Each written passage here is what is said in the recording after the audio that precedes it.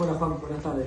Eh, la realidad es que más, allá del clásico, más allá de este partido, eh, desde que me tocó llegar al club tuve la suerte de, llegar a un grupo que a la mayoría, a todos los que, que llegamos nos, han recibido muy bien. Entonces eso hizo que, que todo sea más, más fácil para la adaptación y y que haya un vínculo cercano entre la mayoría de nosotros y eso hace que tal vez en momentos de concentración o de cena o de almuerzo se den este tipo de charlas y obviamente que nos han comentado la importancia que tiene este partido.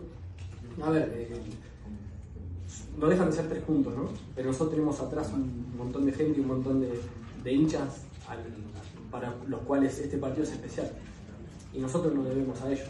Entonces, eh, mañana tendremos que jugar con ese plus de, nuestra afición, de nuestra gente, que indudablemente es especial. Desde que yo llegué siempre ha habido hinchas acá, pero no como hoy. Entonces eso hace que uno sienta la, sus ganas de ganar este partido, de que nosotros lo representemos. ¿no? Y después me parece que va un poco por ahí, ¿no?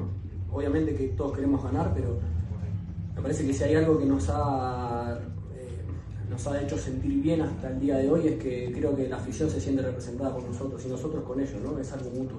Y cuando eso se siente es algo potente y bueno, ojalá que mañana le demos, demos una alegría a ellos que, me ha tocado estar muy poquito tiempo acá, pero como dicen, han estado mucho tiempo en las malas y, han estado ahí, entonces bueno, ojalá que mañana le demos una alegría para, para que sea un sábado lindo para nuestros hinchas.